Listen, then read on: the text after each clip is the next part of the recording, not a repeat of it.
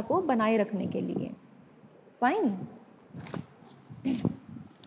तो ये है तो ये है दोषों का स्वस्थ रक्षण में महत्व, है ना? क्या हम, के इसमें बेसिकली क्या है कंक्लूजन क्या है कि दोष जब शरीर में अपने सम प्रमाण में रहेंगे, पहली बात यह है, दोषों का सम प्रमाण में रहना आवश्यक है स्वस्थ रक्षण के लिए। दूसरा क्या है, दोष जब अपने सम प्रमाण में रह के अपने अपने प्राकृत कर्मों को करेंगे। है ना? फॉर एग्ज़ाम्पल बात के जो प्राकृत कर्म थे, वो क्या पढ़े हमने? बात जो शरीर में जो शारीरिक क्रियाएँ हैं, उनका नियमन करने वाला होता है ना बात? तो अगर ये शरीर में सारी क्रियाएँ ये सुचारू रूप से चलती रहे मतलब बात अपने प्राकृत कार्यों को करता रहे, ऐसे जो पित्त है, पित्त आहार का पाचन करता रहे, भली प्रकार से, सम्यक प्रकार से, ठीक है? ऐसे जो हमारा कफ है, वो दोष शरीर को स्थिर रखता है, शरीर को बल प्रदान करता है, ठीक है? तो ये तीनों दोष अगर प्राकृत अवस्था में रहकर, एक निश्चित प्रमाण में रहकर अपने अपने प्राकृत कर्मों को करते रहेंगे तो स्वस्थ व्यक्ति स्वस्थ रहेगा। मतलब स्वस्थ व्यक्ति के स्वास्थ्य का रक्षण होगा। आयुर्वेद का ये पहले प्रयोजन की पूर्ति करते हैं ये। समझ में आया कि आयुर्वेद के दो प्रयोजन बोले थे ना हमने, स्वस्थ व्यक्ति के स्वास्थ्य की रक्षा करना। तो अगर दो सम प्रमाण में रहेंगे और अपने प्राकृत कार्यों को करेंगे तो ही स्वस्थ व्यक्ति के स्वास्थ्य की रक्षा संभव है। ठीक है, ये तो हुआ आयुर्वेद का पहला प्रयोजन। आयुर्वेद का दूसरा प्रयोजन क्या था अब? कि रोगी रोगी व्यक्ति के रोग का शमन करना। और रोगी व्यक्ति के रोग का शमन कैसे करेंगे हम लोग? रोग कब उत्पन्न होता है? हम बोलते हैं ना, रोगस्तु दोष वैषम्यम दोष साम्यम आरोग्यता। हमने ये कोटेशन बोला ना कि जब दोषों की विषमता हो जाती है तो रोग उत्पन्न होता है। तो अगर हमने रोग का शमन करना है तो हमें क्या करना पड़ेगा? दोषों को समता करनी पड़ेगी। दोष जो विषम हो रखे हैं, उनको सम करना पड़ेगा। ठीक है? तो विषम हुए दोषों को शम करके मतलब समान करके, उनके साम्यावस्था लाके हम लोग रोगी व्यक्ति के रोग का शमन कर सकते हैं। मतलब आयुर्वेद के दूसरे प्रयोजन को पूरा कर सकते हैं, ठीक है? इस प्रकार जो दोष हैं हमारे, उनका ये महत्व है आयुर्वेद के दोनों प्रयोजनों की पूर्ति करने में। क्लियर हाँ जी।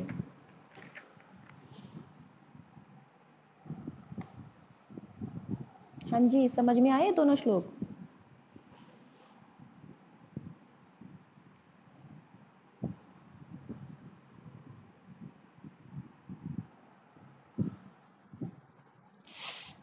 आवाज़ नहीं आ रही है?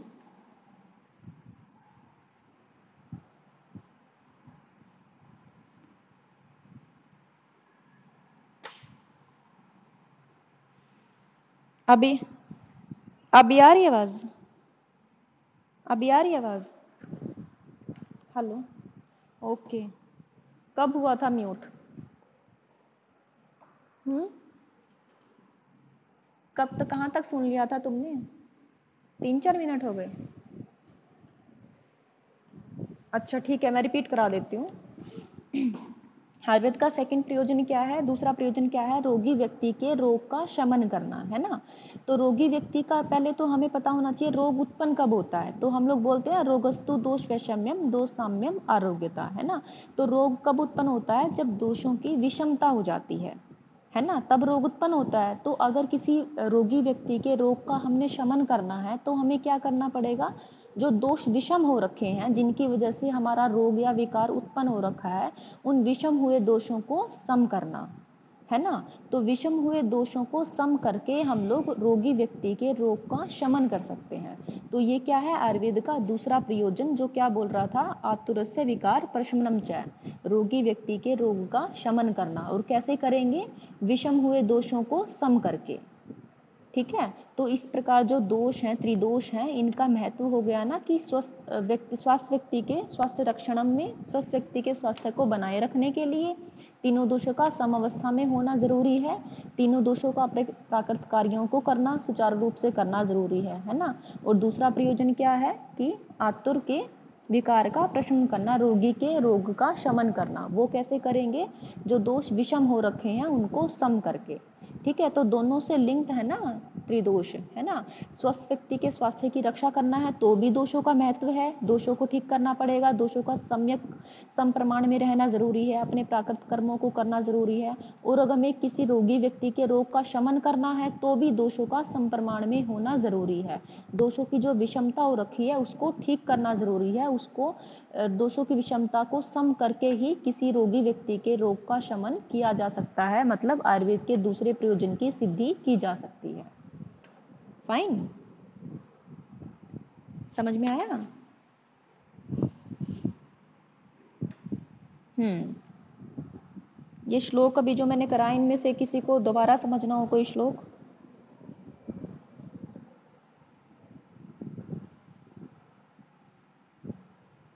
बेटा, ये टॉपिक हो सकता है आपकी बुक में ना मिले।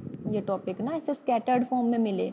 तो जो मैंने जैसे पॉइंट्स वाइज मैंने आपको समझाया है ना, वैसे पॉइंट्स वाइज नोट्स बना लेना इसके। क्योंकि ये एज इट इज़ बुक में नहीं मिलेगा इस हेडिंग से बुक में नहीं मिलेगा ये। तो आपने दो हेडिंग्स के अंदर ये टॉपिक करना है। एक हेडिंग होगी आपकी कि प्रकृति निर्माण में दोषों का क्या महत्व है। ठीक है? दूसरी हेडिंग होगी आपकी स्वास्थ्य रक्षण में दोषों का क्या महत्व होगा। ठीक है?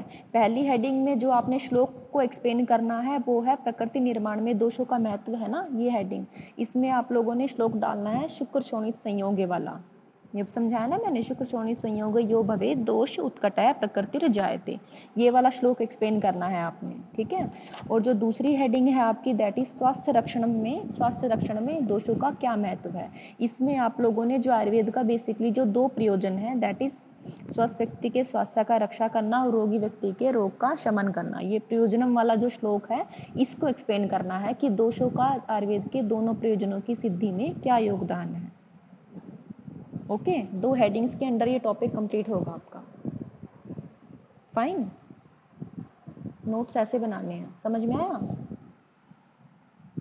हम्म। किसी को कोई डाउट हो? कुछ सुन भी रहे हो कि नहीं सुन रहे ऐसे ही, okay ma'am thank you ma'am, बोल देते हो तुम लोग। हम्म? सुनते हो? सुनाते तो नहीं हो, बस सुनते हो। जब पूछती हूँ तो तो सुनाते नहीं हो। तुम लोग कुछ बताते नहीं हो। हम्म? की कनेक्ट करके चले जाते हो? सरप्राइज़ टेस्ट लूँगी मैं, कभी भी देख लेना। पासिंग मार्क्स ज़रूरी हैं उसमें मैंडेटरी हैं।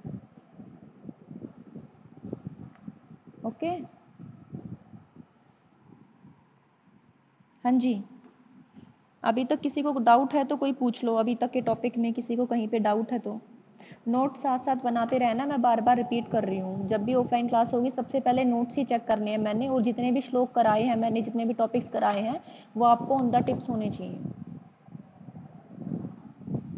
ओके कोई डाउट है तो पूछो। कोई डाउट है, कोई टॉपिक अभी तक का कोई समझ नहीं आया हो, कोई टॉपिक या कोई श्लोक नहीं समझ में आया हो, कोई कंफ्यूजन हो तो पूछो, फिर मीटिंग एंड करते हैं। हाँ जी।